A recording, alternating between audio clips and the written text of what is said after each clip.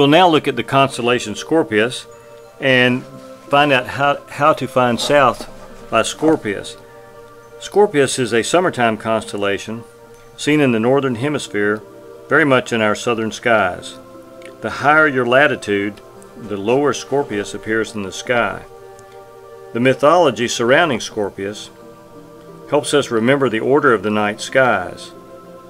It is said, for instance, that Scorpius is chasing Orion, whom he will never catch, since Orion sets in the west before Scorpius rises in the east.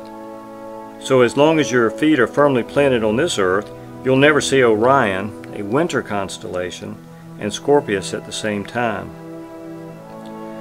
Mythology aside, the fact is that Scorpius is on the opposite side of the Sun from Orion which is why we never see them together. We see Scorpius when the Earth, in its annual orbit around the Sun, is on the Scorpio side of the Sun, and Orion when Earth is on Orion's side of the Sun. The Sun, of course, blocks out our view of any stars appearing on its far side. Unlike some other constellations that don't readily appear like anything they're said to represent, Scorpius, at least, looks somewhat like a giant celestial scorpion. At its neck is the red giant Antares.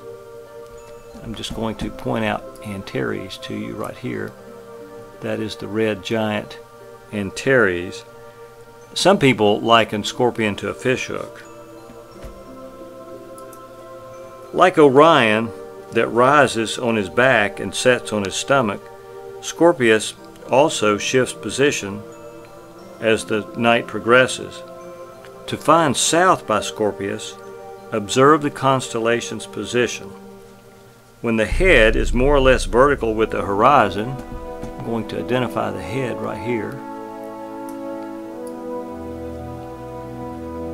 When this head is more or less vertical with the horizon, just an imaginary line drawn through the head, then you can find south by an imaginary line drawn more or less through the tail